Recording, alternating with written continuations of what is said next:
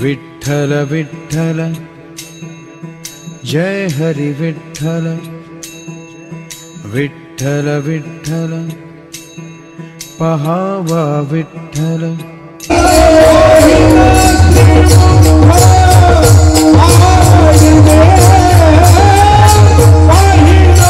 Oh,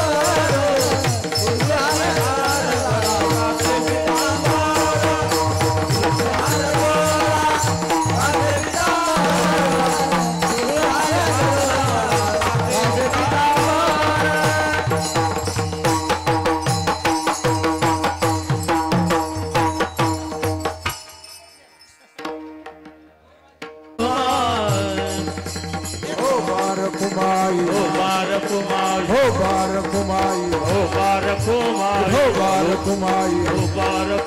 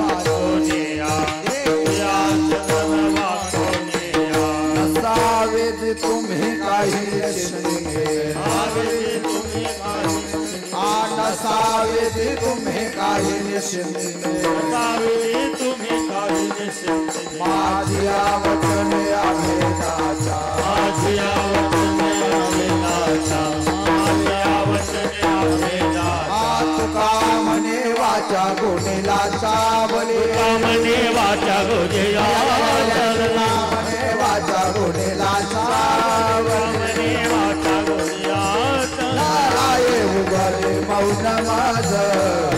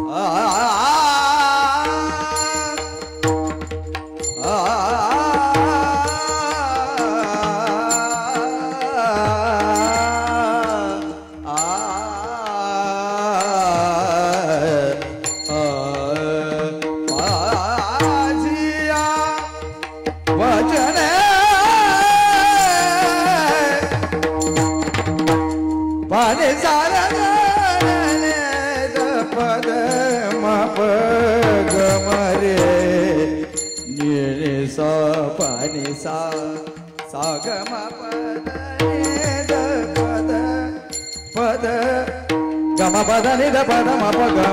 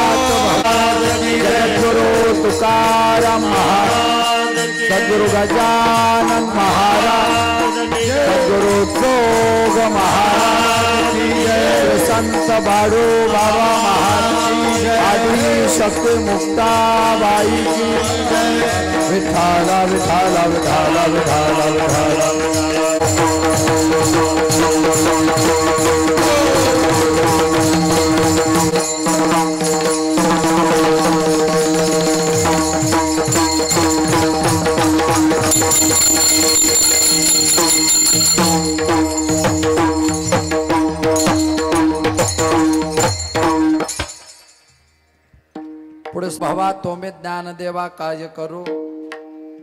नसावे जे तोमे काही निश्चिंतीने. माझी या वचने अभेदाच्या एकाएकी मन निधी समाधान. एकाएकी मन निधी समाधान देखिला चरण वाचून या. नसावे जे तुम्ही काही निश्चिंतीने. माझे या वचने अभेदाच्या. तुका मने वाचा गुणिलांच्या बले. तुका म्हणे वाचा गुणिलांच्या बले नरा हे उगले मौन्य मज. नसावे जे तुम्ही काही निश्चिंतने. माझी आवचने वचने अभेदाच्या. योंत प्रवेश मम वाच मिमां प्रसुप्तां संजीवयत् खिल शक्तिधर स्वधामना. अन्नांश्च चरण श्रवणत्वगादीन् प्राणा नम भगवते. पुरुषाय तुभ्यहम्। पांडुरंगा करू प्रथम नमन पांडुरंगा करू प्रथम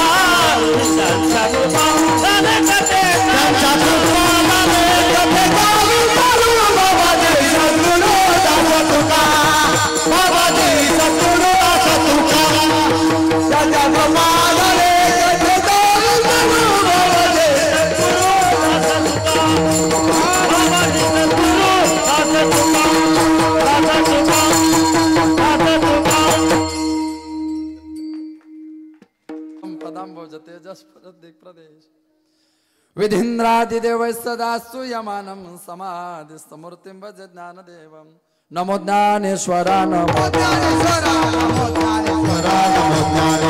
नमो ज्ञानेश्वरा नमो ज्ञानेश्वरा। नमो ज्ञानेश्वरा नमो निवृत्ती उदारा स्वभाव देवा। निवृत्ती उदारा स्वभाव देवा। निवृत्ती उदारा स्वभाव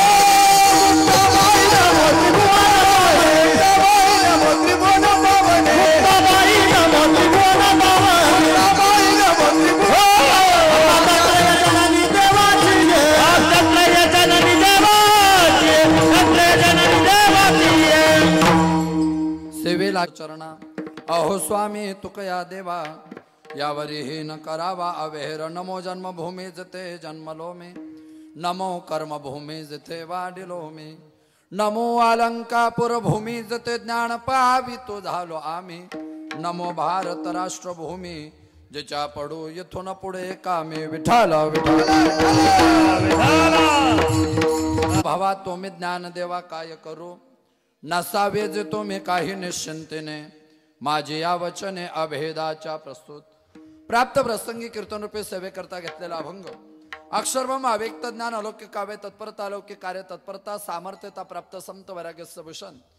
ज्ञान्यांच्या राजे साधकांचं मायबाप योग्यांची माऊली कवल्य सम्राट चक्रवर्ती अलंकार प्रणिवास माऊली महावैष्णव संत सम्राट ज्ञानोबारायण माऊली महावैष्णव अनुवार यांना सुद्धा प्रिय आणि वैष्णव असा वैष्णव साधू अर्थात वारकरी संप्रदायामध्ये फार मोठा अधिकार प्राप्त संत तथा हिंदवी स्वराज्य संस्थापक हिंदुदय सम्राट छत्रपती शिवाजी महाराज यांचे धर्मगुरू आणि अखिल विश्वाला सुशोभित करणारे जगद्गुरु तुकोबाराय यांचा चार चरणाचा आपल्या आराध्य कुलदैवता सोबत वार्तालाप साधणारा अभंग आहे. विठाल विठाल.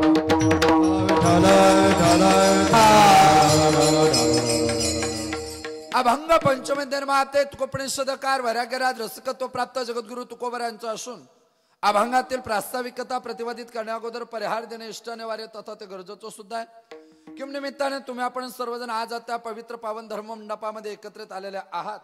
रसिकता भाऊकता चतुरता सजगता श्रोत्याच्या भक्तिशास्त्राच्या श्रवण मात्राच्या चत्वार्यांत करणाने कार्यपरंपरा सर्वांना ज्ञातव्यासालाच आहेच.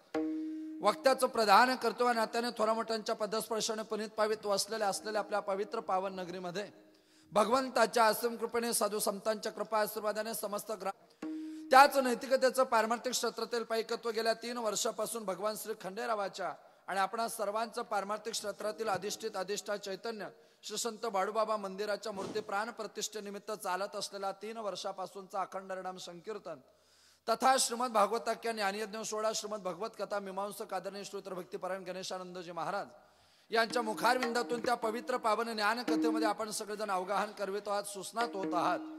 तदानुषंगाने आपण सर्वांच्या समन्वयातून समर्पणातून सर्वांच्या दर्शनाचा कलशपूर्तीच्या पूर्व संध्येचा हा सुवर्ण योग विठाला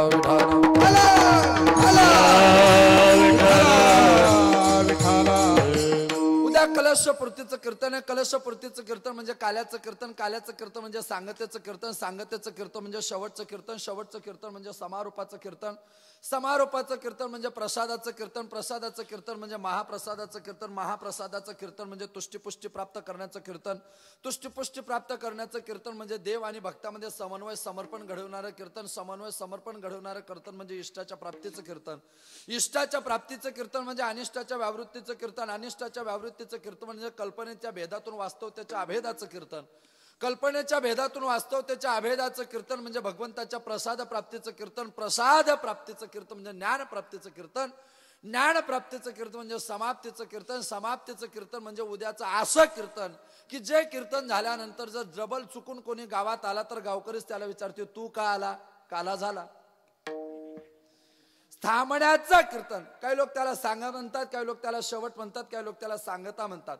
पण सप्ताची सांगता होत नाही सप्ताचा शेवट होत नाही कारण सांगता आणि शेवट एकमेकाला पोषकता पूरकता येणार आहे काही शब्द दिसायला जरी समानार्थी दिसत असले वाटत असले भासत असले तरी ते समानार्थी नसतात. रान म्हणजे काय? रान म्हणजे वन. वन म्हणजे काय? वन म्हणजे जंगल. हे समानार्थी शब्द वाटतात पण हे एकमेकाचा संबंध नाही. जिथे गवत जास्त उगवतं त्याला रान म्हणतात. जिथं झाडं जास्त उगवतात त्याला वन म्हणतात. जिथल्या किर्द झाडीमध्ये गर्द झाडीमध्ये जंगली प्राणी राहतात त्याला जंगल म्हणतात. तरी तिन्ही शब्दाचा अर्थ एकच होतो. असं जिथं शिकवतात त्याला महाराष्ट्राची जंगली शिक्षण पद्धती म्हणतात. लक्षात घ्या. शब्द सारखे असले म्हणजे अर्थोत्पत्ती सारखे असतात दया आणि कृपा दोन्ही सारखे का? दया आणि कृपा समानार्थी का? सगळ्यांवर केल्या जाते तिला दया म्हणतात. आणि ठराविक लोकांवर केल्या जाते तिला कृपा म्हणतात. समष्टी पद्धतीने केल्या जाते तिला दया म्हणतात. आणि वेष्टी पद्धतीने केल्या जाते तिला दया म्हणतात. देवाने आपल्याला भारतात जन्माला घातले आपल्यावर दया केली. महाराष्ट्रात जन्माला घातले आपल्यावर दया केली. यवतमाळ जिल्ह्यात जन्माला घातले आपल्यावर दया केली. पुसद तालुक्यात आपल्याला जन्माला घातले दया केली. बेलोऱ्यामध्ये जन्माला घातले आपल्यावर दया केली. पण कीर्तनाला एवढ्याच लोकांना बोलवलं कारण कृपा फक्त यांच्यावरच झाली. ज्यांच्यावर दया झाली ते अजूनही घरी सापडतील. कारण ते अजून कृपेकडे आलेलेच नाही. मग दया ही समष्टी पद्धतीने असते आणि कृपा ही ठराविक लोकांवर असते. दया पापी माणसावरही असते पण कृपा फक्त भगवत भक्तावरच होत असते. लक्षात घ्या. शब्द समान अर्थी वाटले तरी समान अर्थी नसतात. सप्ताची समाप्तीच असते सम्यक अधिक आपती सम्यक म्हणजे ज्ञान आप्त आपनोती म्हणजे प्राप्त करणे. साधकाने साधनाच्या माध्यमातून सिद्धात्मक ज्ञान प्राप्त करणे म्हणजे समाप्ती. म्हणजे समाप्ती समाप्ती शब्दाची उत्पत्तीची पृथ्वीच्या पूर्वसंध्येला म्हणजे काल्याच्या पूर्वसंध्येला देवाकडे काहीतरी मागावा असा वारकरी संप्रदायाचा अलिखित नियम आहे. लिखित नाही. अलिखित आहे. पण वारकरी मात्र देवाकडे काही मागायचं धाडस करत नाही. नाही तुझं काही मागत संपत्ती. आठवण चित्ते असू द्यावी. सरली या भोग येईल शेवटी. पायाची या भेटी अनुसंधाने. नाही तुझं काही मागत संपत्ती. तुझं संपत्ती मागत नाही. आठवण चित्ते असो द्यावी देवा. मी जेव्हा मरेल तेव्हा मरताना तुमच्या चित्तात ठेवा की हा भक्त काही ना मागणार आहे. हा काहीही मागत नाही. एवढं जरी तुमच्या चित्तात राहिलं किंवा मला मागायची बुद्धी कधीच होणे एवढी विचारधारा माझ्या चित्तामध्ये स्थिर असावी. सरलिया भोग येईल शेवटी. भोग सरल्यानंतर मला तुमच्याकडे कडेच यायचं अर्जुनाची भाषा काय? नकांक्ष विजयम कृष्ण नच राज्यम सुखानीच खरं म्हणजे महाभारती युद्धामध्ये अर्जुनाची सुरुवात काय? अर्जुन देवाला सांगतो देवा सेनयोरु भयरमध्ये रथम स्थापय मे चुता. या चुता मम रथ सेनयो भयरमध्ये देवा माझा रथ दोन्ही सैन्याच्या मध्ये उभा कर. देवाने अर्जुनाचा रथ दोन्ही सैन्याच्या मधोमध उभा केला आणि अर्जुनाला देवाने इशारा केला अर्जुना स्ट्रेट लुक डोंट मो अर्जुना पुढे पहा मागे पाहू नको. अर्जुनाची समोर नजर गेली. अर्जुन पाहायला लागला. आचार्यान मातुलान भातृन पुत्रान पौत्रान सखीन तथान शोश्रुन श्रुदश्चैव सेन योरु भैरोपी तान समीक्षेश कोणते सर्व बांधवान. सगळे नातेवाईक पहिले. आणि अर्जुनाने देवाला सटलं देवा मला युद्ध करणं शक्य नाही.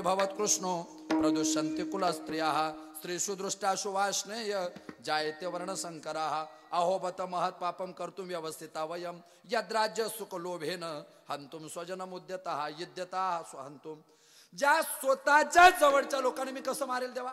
अहो बत महत पापम. मला काय लागेल? पाप लागेल नसतं पाप नाही महात. म्हणजे महापाप लागेल. कोण म्हणतोय? अर्जुन सांगतोय अर्जुन कोणाला? कोणत्या देवाला? ज्या देवाचं वर्णन केलंय तावत कर्तुम न शक्नोती पातकम पातकी जनाहा पातकी जनाहा तावत पातकम न कर्तुम शक्नोती जेवढी नामाची आहे शक्ती. तेवढे पाप नाही त्रिजगती. ज्या देवाच्या नावाने कोट्यावधी पाप जातात अर्जुन त्याला पापाच्या गोष्टी शिकवतो याला म्हणतात उलटा चोर कोतवाल कोदाटे. याला म्हणतात हमारी बिल्ली हमको म्याव आमच्याकडून शिकला ना आम्हाला अक्कल शिकवतोय. मग लक्षात घ्या. आज देवाच्या नावाने पाप जातात आणि अर्जुन त्याला पापाच्या गोष्टी शिकवतो. अर्जुन म्हणतो देवा मला आता युद्धच करायचं नाही. देव म्हटलं अर्जुना तुला ग्रामीण भाषा सांगू का? म्हणे हो. का रे तुला जर युद्ध करायचंच नव्हतं तर तू रणांगणावर का आलास? इन ब्रॅकेट का रे? म्हणे काय? तुला जर माघारच घ्यायची होती मग तू फॉर्म भरलाच कशाला? आम्ही तुझ्या भरोशा त्या वार्डात बदली उमेदवारही टाकला नाही. आजच्या वातावरणात बोलू का कंटेन का रे तुला जर युती करायचीच होती मग आम्हाला कामाला कशाला लावले? आम्ही बोंबलो ना आता. असं जागतिक टेन्शन आलंय मला. नाही का? मग आम्ही करायचं काय? अर्जुना तुला जर असं करायचं होतं तू आलाच कशाला? अर्जुन साईडला देवा आता काही खरं नाही माझं. नकांक्ष विजम कृष्णो नच राज्य सुखानीच किम नो राज्य न गोविंदो किम भोगैरे जेवेते नवा अहम नाकांक्ष राज्यम अहम नाकांक्ष सुखम अहम नाकांक्ष भोगम अहम नाकांक्ष राज्यम या श्लोकाचं मराठीतलं रूपांतर आहे. देवा मला तुमच्याकडून काहीच नको. आणि काही नाही मागणे सुख संपत्ती राज्य चाड धने. साकडे न पडे तुझ जेने तुझे भक्ते विना माय बापा. देवा मला तुमच्याकडे सुख नकोय. का नकोय? सुख याच्या करता नकोय. सुख प्रारब्धानुसार ज्याचं त्याचं ठरलेलं आहे. ज्याचं जसं प्रारब्ध असेल त्या प्रारब्धानुसार प्रत्येकाला सुख दुःख भोगावं लागतं. त्यामुळे मला तुमच्याकडून सुख संपत्ती नकोय. संपत्ती आणि सत्ता यांना कधी पातिव्रत्य नसतं. संपत्तीला कधी पातिव्रत्य नाही सत्याला कधी पातिव्रत्य नाही. जी सत्ता आज तुमच्या ताब्यात आहे उद्या माझ्या ताब्यात राहील परवा ह्यांच्या ताब्यात राहील. जो पैसा आज तुमच्याकडे उद्या आमच्याकडे राहील परवा दुसऱ्याकडे राहील. पैशाला पैशाला स्थिरता आहे का हो? सत्याला स्थिर का हो? संपत्ती आणि सत्ता ही कधी स्थिर नसते. मी इथल्या इथं पटवून दाखवू का तुम्हाला? पावणे अकरा पर्यंत पाकिट अध्यक्षाच्या ताब्यात आहे. अकरा वाजता ते माझ्याकडे आणि सकाळी अकरा वाजता तिच्याकडे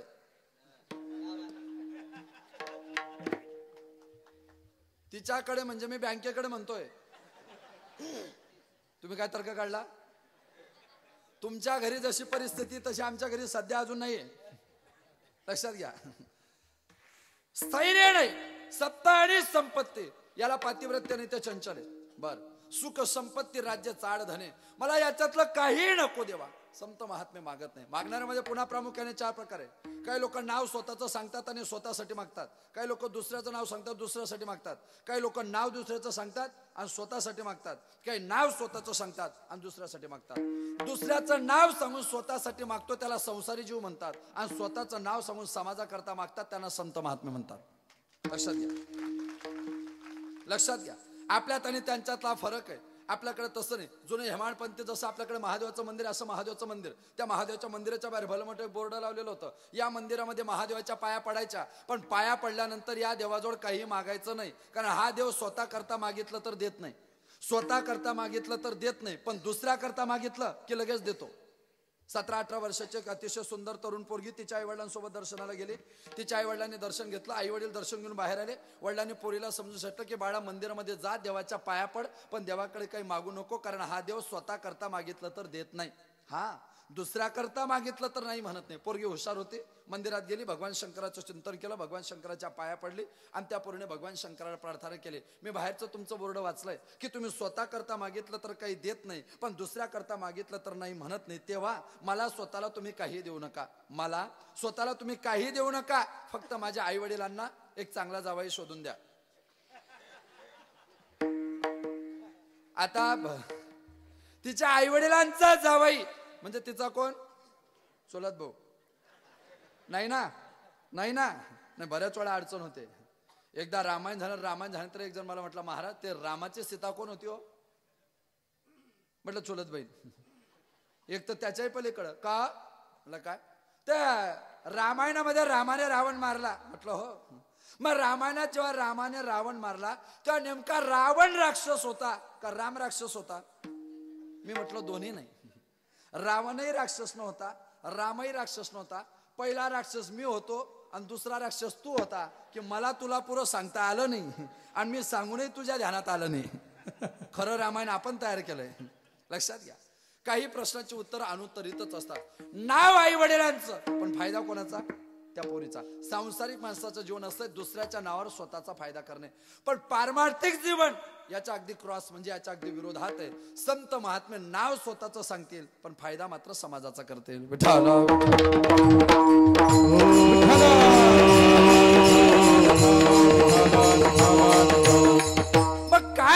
अपेक्षा करावी त्या संत महात्म्यांनी भगवंताकडे जाण्याकरता आपल्याकडे नाना प्रकारच्या मार्गाचं मार्गक्रमण आहे. आपल्याकडे जाताना काही लोक जग मानतात जगदीश्वर मानत नाही एक.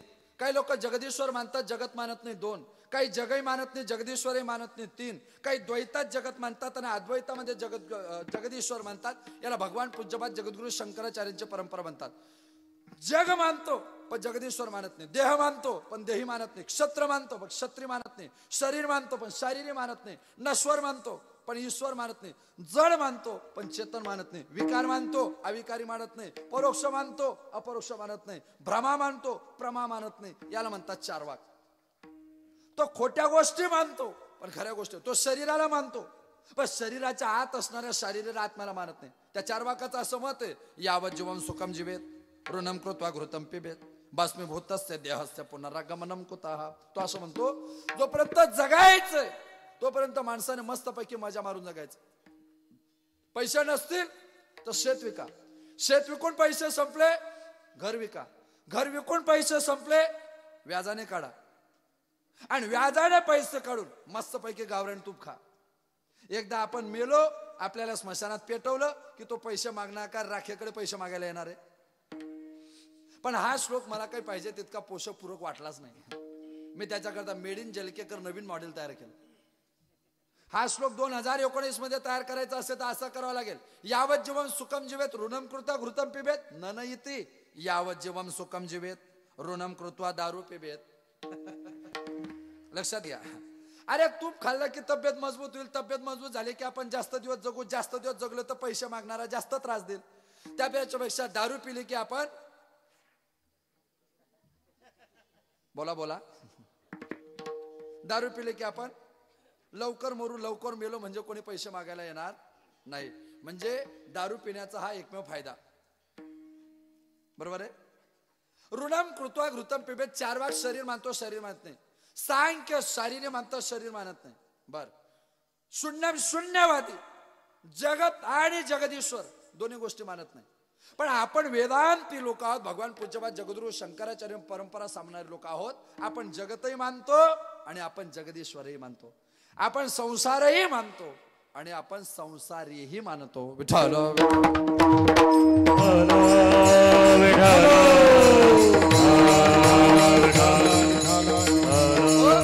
आणि या संसाराच्या संबंधाने आपण सगळेजण सुखासाठी रात्रंदिवस तडमड करत असतो. सुख प्राप्त व्हावं याच्याकरता नाना प्रकारच्या आपण प्रयत्नाचे पराकाष्ठा करत असतो. पण जीवनाचा क्रम आहे की देवही एका वेळी सगळ्यांना सुखी ठेवू शकत. कोठे काही कोठे काही. वरकडे एक आहे एक नाही. कोणाला कशात समाधान आहे कोणाला कशात समाधान आहे? ज्या गोष्टीत तुम्हाला आनंद वाटतो त्या गोष्टीत मला आनंद वाटत नाही. ज्या गोष्टीत मला आनंद वाटतो त्या गोष्टीत ह्यांना आनंद वाटत नाही. प्रत्येकाच्या सुखाचं ठिकाण स्वतंत्र ठरले मला सांगा आजारी पडणं चांगलं का वाईट आहे? आजारी पडणं चांगलं का वाईट आहे? वाईट आहे. आजारी पडणं जरी वाईट आहे तरी ज्याने गावात दवाखाना टाकलाय त्या डॉक्टरची काय अपेक्षा राहील? डॉक्टरला कशात आनंद आहे? आमच्या काही मित्रांनी दवाखाना टाकला फीत कापायला मला बोलवलं तो म्हटला फीत तुझ्यातून कापू देत. कापले मी. तो म्हटला दवाखान्यावर दोन मिनिटं बोल. आता ते काय कीर्तन आहे?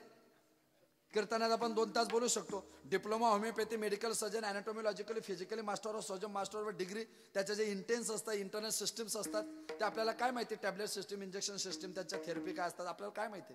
तो मला म्हटला दवाखान्यावर दोन मिनिटं बोल. मी म्हटलं ठीक आहे. आता मी जर त्याच्या दवाखान्यावर बोललो की माझ्या मित्राने बेलोऱ्यामध्ये एवढा चांगला दवाखाना टाकलेला आहे याचा दवाखाना भरभराटीच येऊ म्हणजे? म्हणजे? त्याचा दवाखाना भरभराटीच येऊ म्हणजे बेलोरा आजारी पडो. अशा वेळी महाराज लोकांना एकच प्रमाण म्हणावं लागतं कर्मधर्मे तुम्हा असावे कल्याण. जशी तू डिग्री घेतली असेल तसा तुझा फायदा होऊ देत. त्याला पर्याय नाही ना. गावात वयस्कर माणूस जरी मेला तरी मरणं चांगलं आहे का वाईट आहे?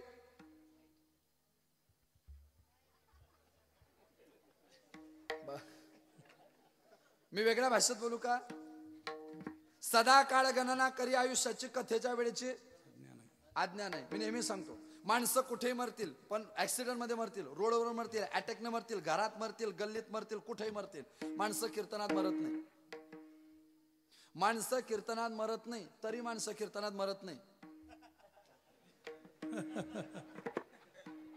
म्हणजे? माणसं कीर्तनात मरत नाहीत तरी माणसं कीर्तनात मरत नाही जे कीर्तनात मरत नाही ते घरी मरतात. मग इथे नाही मेले तर तिथे मरण ठरलेलंच आहे ना? त्याला पर्याय नाही. इथे नाही तर तिथे तर ठरलेलंच गणित आहे.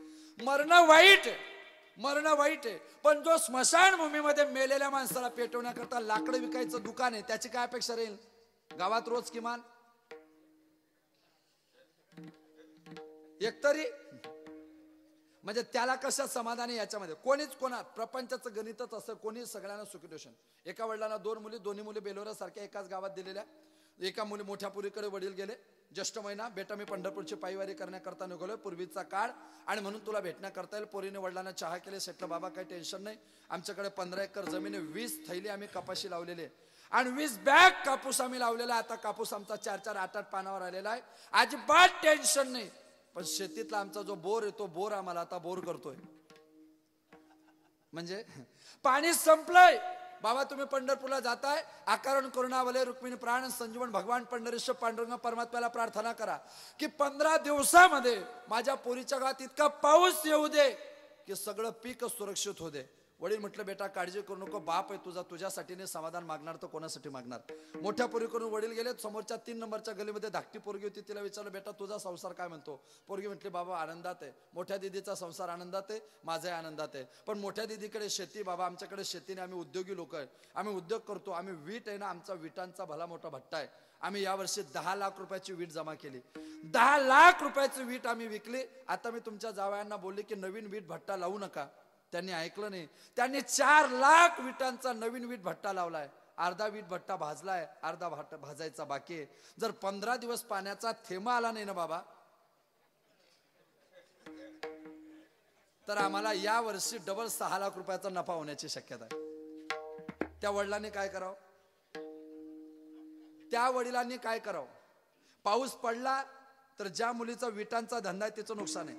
नाही पडला तर जी शेतकरी तिचं नुकसान आहे. शेवटी बापालाही देवाला प्रार्थना करावी लागते. व्हेरी व्हेरी टेस्टी टेस्टी खाव बिटाण्या फिफ्टी फिफ्टी शेवटी बापाला विचार करावा लागतो जर दोन पोरींचा संसार सांभाळताना बाप संभ्रमामध्ये येतो जर दोन पोरींच्या संसाराचा विचार करताना व्यवहारातला बाप संकटात येतो तर या एकशे तीस कोटी पोरांचा संसार करताना मंदिरात बसलेल्या आमच्या बापाचं डोकं कुठं असेल? तीस कोटी लोकांचा संसार कसा जोडत असेल तो?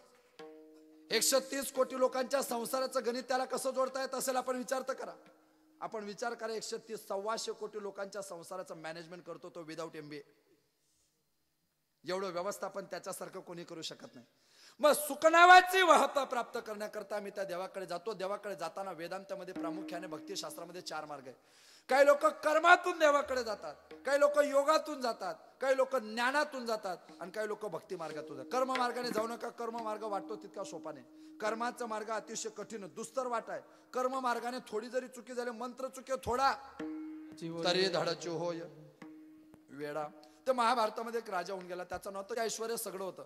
सगळं होतं पण पोटी संतती नव्हती. आता असं की एखाद्या दिदीचं लग्न झालं. आणि तिच्या लग्नाला चार वर्ष झाले आणि तिला जर मुलबाळ झालं नाही तर तिच्या गल्लीतल्या इतर महिला इतक्या इमानदारीने कपडे धुतात तिच्या नावाने. बरोबर? काही नाही अजून. म्हणजे मुलबाळ गुड्डीला होत नाही टेन्शन गल्लीतल्या महिला घेतात. बर महिलांचीच अपेक्षा असते संतती असावी असं की नाही? माणसाला पण वाटतं की नाही? माणसं पण अपेक्षा करतात की नाही की आपल्याला पण एखादा पोरगा पाहिजे. नाहीच कशाला. तर कमीत कमी कशाला? मी दिवा लावायला म्हणतोय. नाही तुम्ही लावा तुमच्या सोयीने काढ्या मी दिवा लावायला म्हणतोय दिवा. दिवा लावायला काय पाहिजे? पणती. पणतीच नसेल तर दिवा कसा लागेल? पणतीच नसेल तर दिवा कसा लागेल? पण तीच नसेल दिवा कसा लागेल? आईच नसेल मुलगा कस काय राहील? बहीणच नाही भाऊ कसा राहील? बायकोच नाही कोण वाढतील? कोण वाढतील? अविवाहित. कोण वाढतील? आणि तो काळ आता पुढे जवळ आलेलाच आहे. अजून दहा वर्ष जाऊ द्या तुम्ही दहा वर्ष. असाच रविवार सोमवारचा दिवस राहील. एखादी पीजी झालेली पोरगी तिच्या मैत्रिणीला फोन करेल. का गा? काय? या रविवारी कुठं आहे तू? ती म्हणेल मी घरीच आहे. मग चलतं का? कुठं? त्या बेलोऱ्याला जायचंय. का ग? त्या पोराचा बाप एक महिन्यापासून फोन लावतोय की दिदी एकदा या आमचा पोरगा पाहून जा. आवडला तर पुढे बोलणी करू. आफ्टर टेन इयर्स हा दहा वर्षानंतरची परिस्थिती सांगतोय. मग ती पोरगी फोर व्हीलर गाडीमध्ये तिच्या तीन चार मैत्रिणींना घेऊन येणार. ती एंट्री करणार खाली उतरणार आपला भाऊ दारात रांगोळी काढणार. नंतर ती पोरगी बैठकमध्ये बसणार. ती चारचा आकडा टाकून बसणार. महाराष्ट्राचा पंजाब तिने केलेला असणार. साडी वगैरे ह्या सगळ्या अंधश्रद्धा होतील दहा वर्षाने. शक्यतो महाराष्ट्राचा त्या पंजाबच करतील. आणि मग महाराष्ट्राचा पंजाब करून ती पोरगी बैठकीत बसणार आपला भाऊ चहा पोहे घेऊन येणार मग ती पोरगी आपल्या भाऊकडे पाहून विचारणार का रे? स्वयंपाक येतो का? मग आपला भाऊ खाली मान घालून सांगणार हो. मग ती विचारणार घरातले काम येतात का? मग म्हणणार हो. मग ती पोरगी पोहे खाणार ती डिश याच्या हातात देणार हा घरात जाणार मग हा पुन्हा खुर्चीवर तयारी करून येणार हा खाली मान घालणार ती वरमान करणार. म्हणजे ज्या गोष्टी आपल्याला लग्नानंतर आता अनुभवायला भेटतात आपल्याकडे आता कशी पद्धत आहे? की नवरदेव वर मान करतो पोरी खाली मान करतात. लग्नानंतर त्यांची मान वर होते आपली मान खाली होते. आता तसं नाही राहणार पुढे. आपली नंतर तर खालीच राहील. अगोदरही खाली राहील. मग ती पोरगी पोहे खाल्ल्यानंतर बडीशोप हातात घेणार बडीशोप आपल्या तोंडात टाकणार मग ती पोरगी पोराच्या बापाला सांगणार कळवते आठ दिवसात निरोप. दहा वर तील याची अपेक्षा कुठल्याच पोराने करू नये.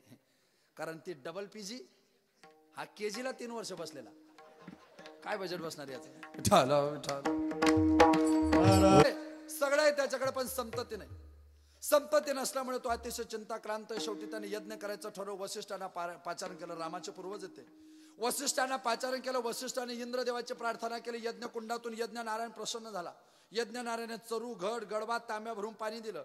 ते पाणी योनाश्वर राजाच्या ताब्यात दिलं. पाणी रात्रभर तुझी पत्नी ज्या क्वाटवर बेडवर खाटेवर बाजेवर झोपल त्याच्याखाली ठेव. सकाळी ती उठल्यानंतर तिचा जमिनीला पाय लागायच्या अगोदर तिने जर चरूतलं गडव्यातलं तांब्यातलं पाणी पिलं तर अडीच महिन्यानंतर डॉक्टर आनंदाची बातमी सांगते शी इज प्रेग्नंट म्हणजे तुझी बायको गरोदर आहे. राजाला आनंद वाटला. उन्हाळ्याचे दिवस चैत्र वैशाखाच्या रणरण त्या रखरखत्या वन्य ज्वालामध्ये राजा राणी टेरेस्टवर झोपायला गेले. रात्री दीड वाजला दोन वाजले सव्वा दोन अडीच वाजले राजाला जाग आली. राजाच्या घशाला कोरड पडली. राजाला तहान लागली.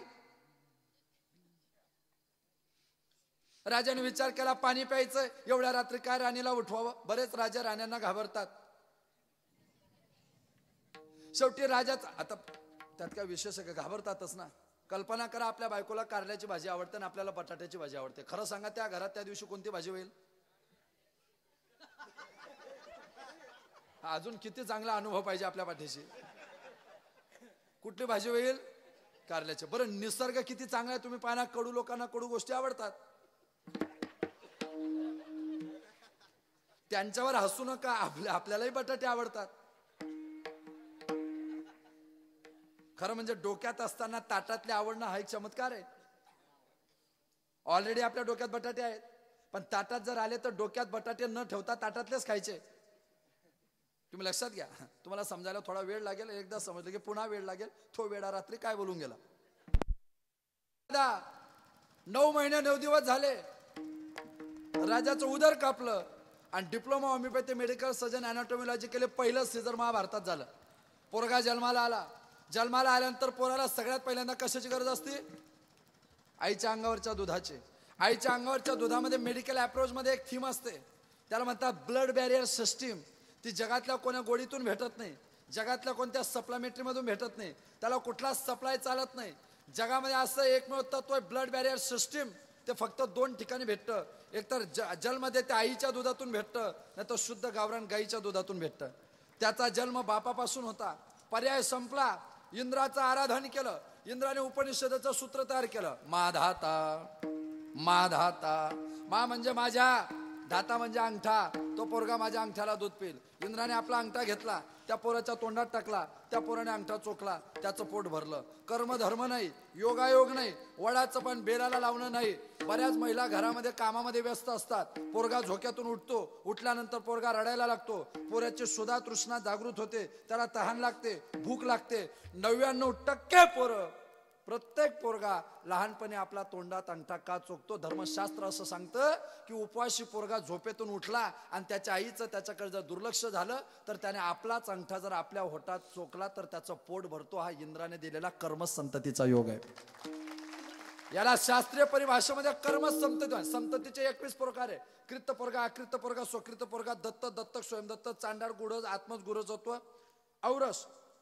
ऋतुजा घृतजा यज्ञजा कर्मजा रक्तजा. बारा पाच सतरा ऋणपुत्र अठरा. वैरीपुत्र एकोणावीस. उदास पुत्र वीस. आणि भक्तपुत्र एकवीस. विठाल विठाल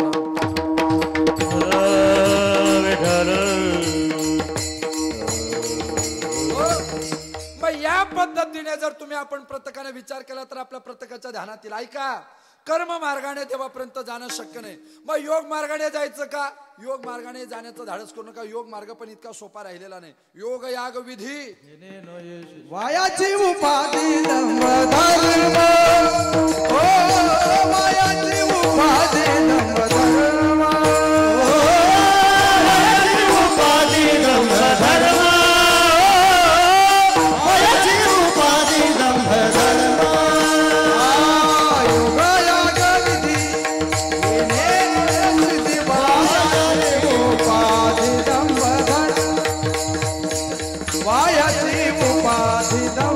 धर्म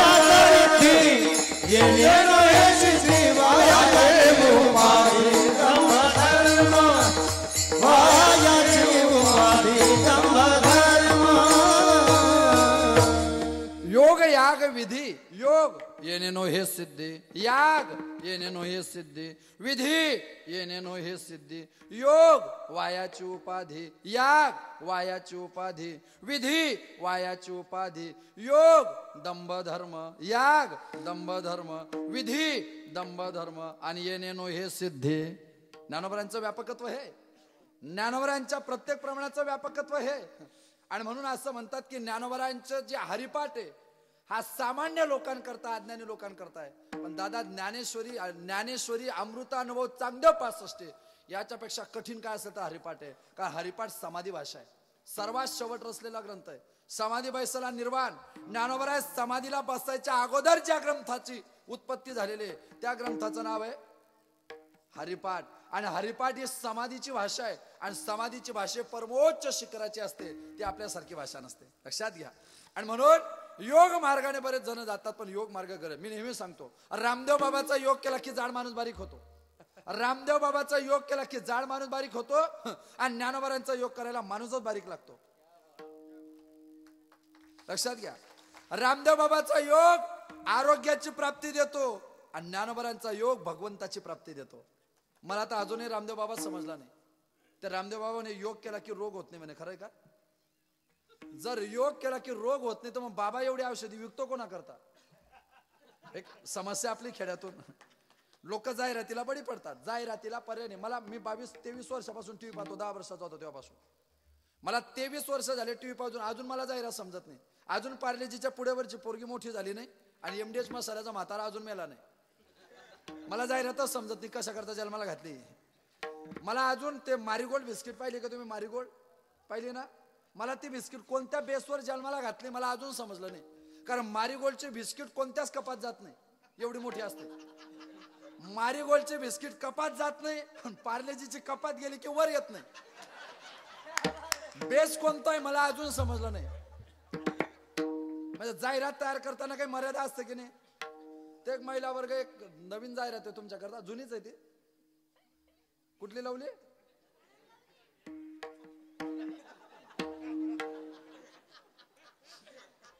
अनुभवातून एका पाहू नये बर. ते तोंडाला लावलं की गोर होतं म्हणे. माणूस भावनेचा बळी पडतो. मी पण ट्राय करून पाहिला. वर नाही. आमच्या घरी आमच्या म्हशीवर. गोठ्यातल्या गोठ्यातल्या म्हणतोय मी गोठ्यातल्या. इन ब्रॅकेट गोठा. गोठ्यातल्या. परिणाम असा झाला ती गोरी झाली आणि तिचा मूळचा रंग जास्त चमकायला लागला. कोणाचा? हा हे ध्यानात ठेवा. कुठल्या?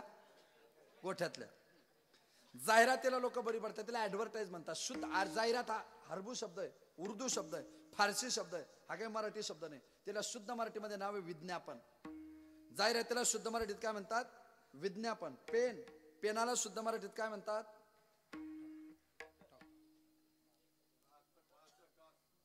टाक. आणि टाकाईपेक्षा पूर्व काळामध्ये तिला म्हणायचे झरणी तुकोबऱ्यांच्या काळामध्ये आहे ना ते मुलगी पाहण्याची एक पद्धत होती त्याला धुडपाटी पद्धत म्हणायची धुडपाटी. निंबाच्या किंवा आंब्याच्या झाडाची अठरा बाय बाराची पाटी तयार करायचे. आणि जो गेरू असतो ना आपला लाल रंगाचा तो एका पिशवीत घ्यायचा. मोरपीस एका एका पिशवीत घ्यायचं मधाची बाटली एका पिशवीत घ्यायची ती धुडपाटी घ्यायची पोरीकडे जायचं मुलगी पाहिला पोरगा गेला की त्या पोराने असे दोन्ही गुडघे समोर करायचे त्याच्या मांडीवरती पाटी द्यायची त्याच्यावर ते सगळे रेती ते गेरू असायचा अतिशय वस्त्रगाड केलेली माती ती त्याच्यावर अशी सपाट अंथरायचे त्यानंतर त्या पोराला तो मधामध्ये ती टाक बुडवायला लावायचे ती झरणी बुडवायला लावायचे मोरपिसाचे आणि त्याला मग त्याला त्याचं नाव लिहायला लावायचं. मग त्याचं नाव त्याने त्या पाटीवर लिहिल्यानंतर त्याचं अक्षर किती चांगलं आहे याच्याहून पोरीचा बापाचा अंदाज काढायचा की याला पोरगी द्यायची का नाही. याला भारतीय प्राचीन पद्धती धुडपाटी पद्धती म्हणायचे. जर ही पद्धत जर आज चालू असते ना गुरुजी तर एकही डॉक्टरचं लग्न झालं नसतं. झालं असतं? त्याला शेवटी मेडिकल वाल्याशीच काहीतरी ऍडजस्टमेंट करावी लागली असते. कारण त्याची भाषा फक्त मेडिकल वाल्यालाच समजते. दुसऱ्याला कधीच समजत नाही. स्वयंलिखितम स्वयं न पठितम. नाही का? कधी कधी मुद्दा असतो ना एक बाई म्हटले आमचे माझे मिस्टर इतके बोलायला प्रखांड पंडित आहे ना त्यांना कोणताही विषय द्या. ते एक तास असं सहज बोलतात. माझे मिस्टर कोणताही अभंग माझ्या मिस्टरांचं वैशिष्ट्य आहे. कोणत्याही अभंगावर एक तास बोलतात ते कोणत्याही अभंगावर. दुसरे म्हटले त्यात काय नवले तुझा नवरा कोणत्याही अभंगावर एक तास कीर्तन करतो त्यात काय नवले माझ्या मिस्टरांना अभंगही देऊ नको तरी दोन तास बोलतात. मग विचार कर केवढा अभ्यास असेल त्याचा. कारण ती म्हणे का काय असं का? त्याची ना अभंगाची भेटच होत नाही. मग तरी तरी तरी खाली नाही त्याची. मग हा पण स्वाभिमानच आहे की नाही? लक्षात घ्या. दुडपाटी पद्धती अनेक प्राचीन पद्धती भरपूर पद्धती. जेवणात लोक बसतात की नाही? मग काही लोक सल्लागार समितीवर निघालेले असतात. सावकाश उद्या सावकाश उद्या त्या जेवणाऱ्याला असं वाटतं राष्ट्रीय कार्यक्रम उद्या उचल गोडा दाबनाडा सावकाश उद्याचा अर्थ काय? शास्त्रामध्ये सह अवकाश. हा सह म्हणजे तिथे अवकाश म्हणजे थोडी पोटात थोडी जागा शिल्लक राहील असं होऊ द्या. म्हणजे सावकाश उद्या मराठी भाषेचा अर्थ आपण वाम पद्धतीने जास्त घेत जातो. त्याला पर्याय नाही. ते योग मार्गाचं वैशिष्ट्य आहे. योगात तुम्ही प्राणायाम करता की नाही प्राणायाम? पण प्राण प्राणायामाच्या आधी तीन पायऱ्या आहे पहिला यम दुसरा नियम आणि तिसरा आसन. काय पाहिजे योगाला? काय पाहिजे योगाला? आसन असतं. योगाला काय असतं? आसन असतं. कुठेही बसतं आसन असतं. त्याला आसन असतं. कोणी टेबलावर बसतं कोणी खुर्चीवर बसतं कोणी ओट्यावर बसतं कोणी चारचा आकडा टाकून बसतं कोणी गुडघे वर करून बसतं. असं नसतं. त्याला आसन नसतं. आसनच नसतं मग असं काहीच नसतं. जर कीर्तनाला आसन असतं तर योगाला किती आसन असतं? त्याला आसन पाहिजे. असं काही चालतं का? रात्री झोपताना तुम्ही निषिद्ध खाद्य खाल्लं असेल. इन ब्रॅकेट बुधवार रविवार. आपल्याकडे जावाई सासरवाडीला सुद्धा शक्यतो रविवारी जातो. सुट्टी असते म्हणून म्हणतोय मी. नाही तो दड भद्री असला तर मग बुधवारी पण जातो.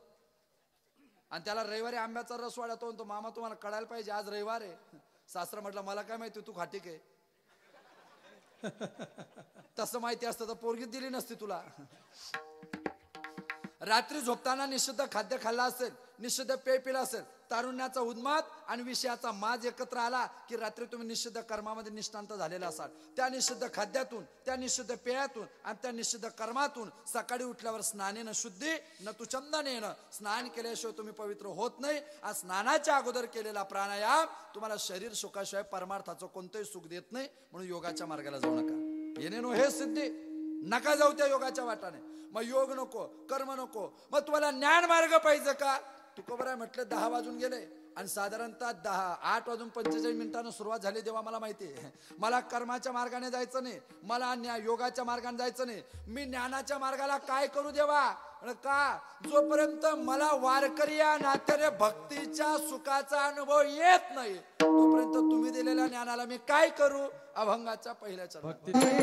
आले अनुभवा भक्ती सुख नाही आले अनुभवा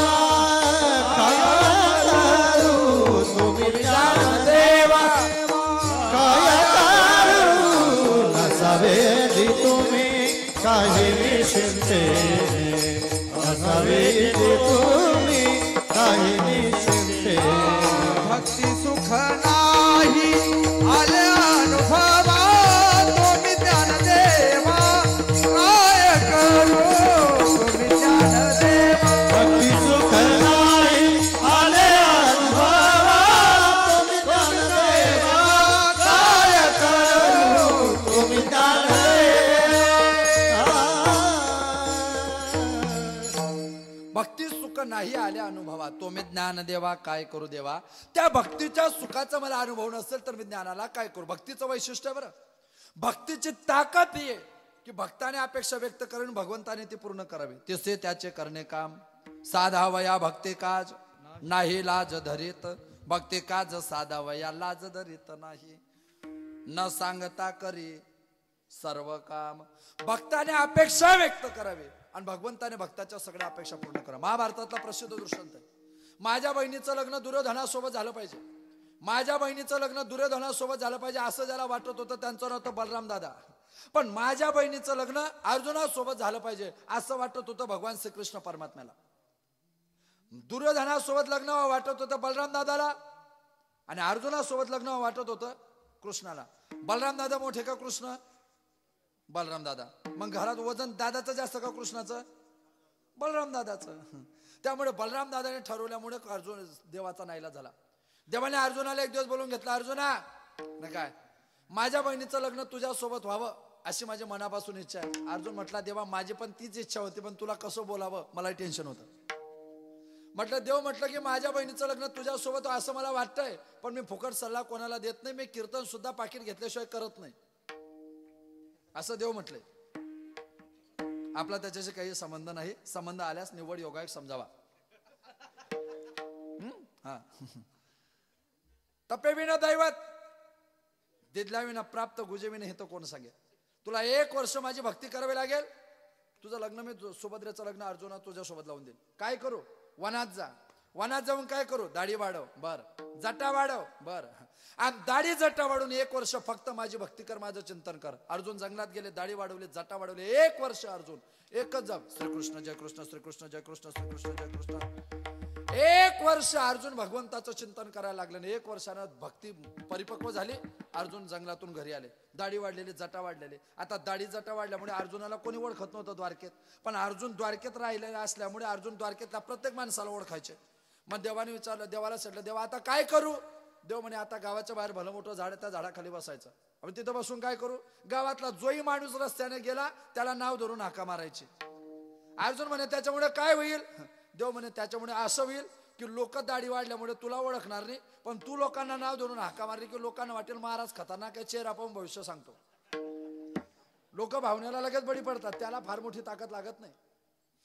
अर्जुनाला पटलं. जोही माणूस रस्त्याने गेला अर्जुन लगेच नाव धरून नाका मारायचा. जोही माणूस रस्त्याने गेला अर्जुन नाव धर कर्णोप करणी कर्णोप करणी कर्णोप करणी ही बातमी बलराम दादाच्या कर्णपटालावर छेदली. बलराम दादाच्या कानावर अभिषेकाला बलराम दादा कृष्णा म्हणले कृष्णा काय? आपल्या गावात कोणीतरी भला मोठा संन्याशी आलाय आणि चेर आपण भविष्य सांगतो. चल लवकर. आता देवाला माहिती नव्हतं का कोण आलंय? देव म्हटलं दादा म्हणे काय? माझा अशा लोकांवर भरोसा पटत नाही. दादा म्हटले आगाऊपणा करू नको तुलाही पुतना मावशीपासून जरा संध्यापर्यंत एक एक टेन्शन चालूच असतं. चल लवकर. देव म्हटलं तुम्ही म्हणताय म्हणून येतोय ना तर मला यायचं नव्हतं बरं. बलराम दादा पुढे श्रीकृष्ण मागे आणि समोर असं बसलेला अर्जुन. अर्जुनाने लांबूनच बलराम दादाला पाहिलं बा आणि त्या अर्जुनाला हिवाळ्यात घामाला हो. बलराम दादाकडे पाहून आता बलराम दादा आहे ते.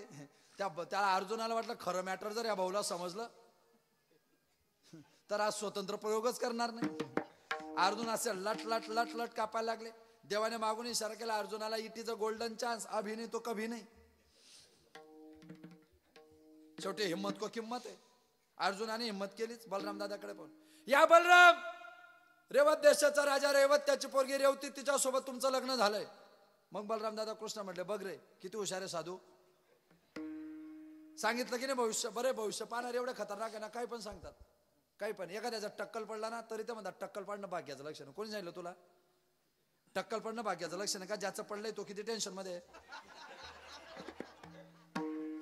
हा माझ्या एक मित्र म्हणे तसं नाही तसं नाही तसं नाही. म्हटलं मग? हा. जे लोक टेन्शन घेतात त्यांचं टक्कल पडतं. मग टेन्शन घेतल्यावर टक्कल पडतं मग टक्कल पडल्यावर जे टेन्शन येतं त्याने काय पडतं? पुन्हा टेन्शनच आहे ना? काय चालू आहे याच्या काही पद्धती साध्या साध्या लॉजिक ज्या पोरीचे बोट बारीक असतात ना ती स्वभावाला तापट असते.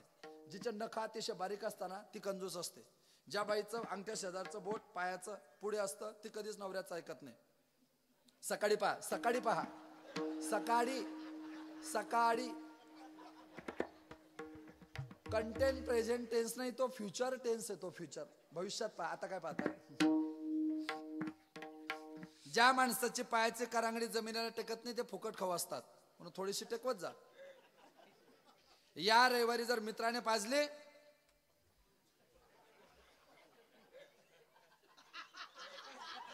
माझी का? माझी चांगली टेकते तुकाराम महाराज. तुमचा चाललाय का मग? बर. तुम्ही टेकवा कशी कुठंतरी टेकवा. पद्धती असतं की नाही? पद्धती असते. प्रत्येक प्रत्येक गोष्टीची पद्धत असते गुडा केश हा भाग्योदया हा कुरडे केस भाग्याचं लक्षण आहे. श्रीकृष्णाचे केस कुरडे अर्जुनाचे केस कुरडे ज्ञानोबरांचे केस कुरडे विवेकानंदांचे केस कुरडे सचिन तेंडुलकरचे केस लता दिदींचे केस मोदी साहेबांचे केस. मी तेवढ्याच एका अपेक्षेवर जीवन जगतोय. की आपला नंबर कुठून कुठे लागेल? लक्षात घ्या. ज्योतिषाची पद्धती असते. ह्या सगळ्या पद्धती त्याच्यात भरपूर प्रकार असतात ज्योतिष. मेष राशीचं वैशिष्ट्य वेगळं असतं वृषभ. मेष मेष राज्याची असते ना मेष राश. मेष म्हणजे बकरा. मेष राशीचा माणूस आहे ना मध्ये मध्ये जास्त बोलतो. त्याला सवयच असते मध्ये मध्ये बोलायची मध्ये मध्ये. त्याच्या राशी बकरा एका झाडावर कधीच पोट भरत नाही. हजार झाडावर पोट भरील तरी चिमटा गेलच तसे हे राहतात. इथेही बोले तिथेही बोले तिथेही बोले. वृषभ राशीचे जे लोक असतात ना मेहनत भरपूर घेतात पण किंमत नसते. बैल. मिथुन राशीच्या लोकांना सस्पेंड मॅटर असतात. त्यांच्या आयुष्यामध्ये ना असे काही चुकीचे प्रसंग घडलेले असतात की ते एकांतात फक्त रडतात. कर्क राशीच्या लोकांना नेहमी तिरपे चालतात. आपण जर म्हटलं ना मंडपात मागच्या गलीने जाऊ तो म्हणतो नाही पुढच्या गलीने जाऊ. म्हणजे तोही मंडपात येतो ना हाही येतो पण तो तिरपा चालूनच होतो. कर्क म्हणजे खेकडा नेहमी तिरपात चालतो. सिंह राशीचे लोक असताना सिंह राशीचे यू करू ट्यू करू निकल गया क्या करू? त्यांचा असं राहतं. कन्या राशीचे लोक समतोल साधणारे असतात. चांगली रास आहे कन्या. सगळ्यांना समजून घेते. तूळ राशीचे जे लोक असतात ना तूळ राशीचे कमी दिवसात फोकसमध्ये येतात आणि नंतर त्यांची बदनामी चालू होते. तूळ राशीचं वैशिष्ट्य असं आहे. तुम्ही अनुभव घेऊन पहा. रामाच्याही नशिबात बदनामी राम रावण बरोबर? राहुल गांधी राहुल द्रविड रतन टाटा राज ठाकरे रवी महाराज. डाले गुरुजी. म्हणजे त्या नावाचाच परिणाम आहे तो. त्याला आपण काय करणार आहे? पण त्या र सोबत तिथं तुडला त पण असतो बरं. नाही का हा. तो परिणाम त्या राशीचा असतो. त्याला पर्याय. वृश्चिक रास असते ना वृश्चिक रास. वृश्चिक राशीचे लोक सहसा कोणाशी जास्त बोलत नाही. पण एकचदा असा बोलतो ना पुन्हा त्याच्याशी बोल वाटत नाही. विंचवाच्या नांगीसारखे असतात एकदा डंका मारतात. धनुराशीचे लोक आहे ना सगळं माहिती असलं तरी मध्येच ठेवतात ते. असं का? असं का? सगळं ऐकून घेतात पण त्यांचं कधीच बाहेर काढत नाही ते. धनुराशी. मकर राशीचे लोक आहे ना मकर राशीचे. वर गोड बोलतात आणि खाली पाय दाबतात. कुंभ राशीचे लोक आहे ना या राशीचा मी आयुष्यात सगळ्यात जास्त अभ्यास केला. सगळ्यात जास्त. या राशी एवढा अभ्यास मी कोणत्याच राशीचा केला नाही. आणि माझी नाही बरं ती रास तरी केलाय. तुम्ही अंदाज काढू शकता का केला असेल? हा बरोबर तेवढं तरी तुमच्या ध्यानात आलं भरपूर झालं. माझ्या लग्नानंतर ती एकमेव वस्तू डबल झाली बर. मीन राशीचे लोक असतात ना चंचलत्व त्यांच्या अंगामध्ये असतं अनेक ठिकाणी काम करायचे असते. मीन राशीचा माणूस आणि चुकून त्याला जर कुंभ राशीची बायको भेटली ना त्याच्यात आकर्षण नावाचा शब्द नसतो. आता एखादं जोडपं लग्न झालं त्यांच्या लग्नाला पाच वर्ष झाले. आणि ती दिदी गरोदर राहिली मग याला आनंद वाटला पाहिजे की नाही? मग ती संध्याकाळी आ घरी आला ती म्हणे अह काय? आज की नाही? मला तुम्हाला एक आनंदाची गोष्ट सांगायची. मग तो नेहमीचा रटाळ. तो म्हणे सांग. ती म्हणे आता नाही. जेवताना. मग याने आग्रह करावा की नाही सांग बा काय काय नाही. तो म्हणे ठीक आहे जेवताना सांग. मग जेवायला बसले. ती म्हणे आह! म्हणे काय? मी तुम्हाला बोलली होते ना संध्याकाळी एक आनंदाची गोष्ट सांगते. जेवताना सांग. मग सांग ना. ती म्हणे आता नाही संध्याकाळी. मग नंतर सांग. संध्याकाळी नऊ दहा वाजले. बघ झोपायची वेळ झाली. याने विचारलं का ग सांग ना. ती बोलते मी तुम्हाला बोलली होती ना एक आनंदाची गोष्ट. तो म्हटलं मग सांग ना. ती म्हटले तुम्ही की नाही? तुम्ही की नाही? पप्पा होणार आहे. आता लग्नाला पाच वर्ष झाल्यानंतर पहिल्यांदा ही बातमी कानार याला किती आनंद झाला पाहिजे. पण त्याची रास मीन. तो नाही यात काय नवल आहे? कधी ना कधी होणारच होतो. म्हणजे हा स्वभाव जो असतो काही लोकांना त्यांना कशाच आकर्षण नसतं. हा त्या राशीचा दोष असतो. आता याच्यापेक्षाही चांगलं भविष्य आहे माझ्याकडे पण ते एका पाकिटात एवढे ऍडजस्ट होणार नाही आपल्याला. तुम्ही ऑफलाईन माझ्याशी संपर्क साधा. उर्वरित माहिती तिकडे पोहोचू आपण. अर्जुन सगळ्यांचं भविष्य सांगायला लागला. बलराम दादाने सगळे एवढा मोठा साधू गावाच्या बाहेर राहणं चांगलं नाही. बलराम दादा अर्जुनाकडे पाहून म्हटले महाराज तुमच्यासारखा एवढा मोठा माणूस गावाच्या बाहेर राहणं चांगलं नाही. असं करा तुमचे पाय. आणि आता दोन महिनेच राहिलेले जरा बुद्ध्यांक वापरा. या दोन्ही गोष्टी ध्यानात ठेवायच्या. साधू भेटला की पाय धुवायचे. साधू भेटला की पाय धुवायचे. आणि पुढारी भेटला की हात धुवायचे. भेटता नाही ते दोन्ही पाच पाच वर्ष. साधू भेटला की पाय धुवायचे पुढारी भेटला की हात धुवायचे. आता आठ दिवस तर तुम्ही या बाळूबाबाच्या पवित्र पावन दरबारमध्ये साधूंचे पाय धुतलेच पण आता पुढच्या दोन महिन्यामध्ये पाय धुतले साधूचे चला मग आता आमच्या घरी तुमचे पाय लागू द्या. खोटं वैराग्य ताकद जास्त देतं. बलराम दादा अर्जुन म्हटले महाराज तुमचे पाय आमच्या घराला लागू दे. बलराम दादाकडे रागाने पाहून अर्जुन म्हटले नाही नाही आणि संन्यासी लोग किसी के घर नहीं जाते? मग कृष्णाने इशारा केला क्या घर नहीं जाते? सुभद्रा घर है फिर जाते। फिर जाते। सुभद्रा घर आहे तो फिर हा काय फिर जाते। आले घरी। सुभद्रेने पंचपक्वानाचा स्वयंपाक केला आरास मांडली जवायची तयारी केली पाट मांडलं पात्र मांडलं वाढायची एक पद्धत असते महिला वर्ग. आधी काय वाढतात? आधी मीठ शेवटी स्वीट तेव्हा जेवण नीट. पद्धत असते की नाही? आधी मीठ मीठ शेजारी बीट बीट शेजारी मुडा मुडा शेजारी गाजर गाजर शेजारी कांबाचं लोणचं त्याच्यानंतर हळदीचं लोणचं आवड्याचं लोणचं आंब्याचं लोणचं मिरचीचं लोणचं त्याच्या बाजूला साधा पापड मग त्या पापडावर नागलीचा पापड मग मुगाचा पापड मग उडदाचा पापड मग चिकनीचा पापड मग बाजरीची कुरडे मग गव्हाचे कुरडे मग साधा भात फोडणीचा भात केशरी भात मोदी भात मोरचुद्या भात बरबट्या भात साधं वरण फोडणीचं वरण केशरी वरण दाट वरण पातळ वरण मुगाच्या डाळीचं वरण तुरीच्या डाळीचं वरण सगळ्या डाळी एकत्र करून केवटी वरण त्याच्या बाजूला नंतर मेथीची भाजी मग सुपालकची भाजी मग पोक्याची भाजी मग गोल भेंडी मग लांब भेंडी मग त्याच्या बाजूला पत्ता कोबी मग फुलकोबी मग टोमॅटोची चटणी मग टोमॅटोची भाजी मग भरलेलं वांग मग चिरलेलं वांग मग भरताचं वांग वाढू द्या.